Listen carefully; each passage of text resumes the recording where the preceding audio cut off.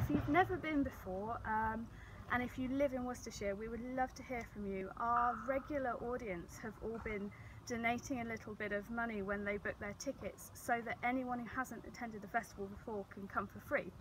So uh, all you have to do is call our box office, speak to Robert, and he will be able to fix you up a pair of tickets to anything in the festival that we've still got tickets for, any concert. Um, and you can you can just sample the festival and you don't have to worry about spending a lot of money on something you, you might not enjoy. You can also come and attend the rehearsals for free. Uh, we have rehearsals in the cathedral every day and if you sign up to the festival first scheme you'll be issued with a pass so you can come and sit in, you know, you can sit for half an hour or you can stay for the whole three hours of the rehearsal